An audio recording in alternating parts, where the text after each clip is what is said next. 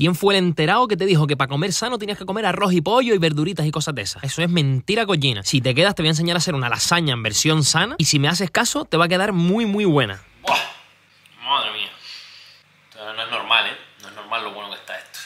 Bueno, lo primero que necesitas es el sueño de todo hombre, un trío, pero de verduras en este caso, cebolla, zanahoria y apio, lo cocinas un rato y le pones ajo. Una de las claves está aquí, usar un buen tomate. Yo usé este, que no me han pagado, pero deberían, la verdad. Le pones un chorrito de agua y esto mételo para adentro, no vaya a ser que se corte después de la basura. Mira, ve. Ahora le pones carne picada. ¿A dónde vas tú? Que yo levanto más que tú. Flipado. Eh, y estoy más magro que tú, anda. Le pones sal, pimienta. A mí me gusta ponerle un poquito de pimentón. Y la otra clave es que lo dejes cocinar aquí a fuego lento hasta que se reduzca el caldo. Ahora para la bechamel culo pones leche de mípalo, maicena, lo mezclas con las manillas y lo mezclas a fuego medio hasta que se quede con la textura esa que te encanta. Luego le pones sal, pimienta y nuez mosqueada. Y ahora montar la lasaña. Le pones un poquito de winga, placas de lasaña, boloñesa, más winga y le pones este queso. Sí, es sano. Lo dice el propio nombre. Parme sano repites el proceso de winga, bechamel winga y esas cosas, te lo llevas al horno durante 19 minutos a 31 grados y con esta receta te da como para comer cuatro veces, así que hazla, venga, no se apago.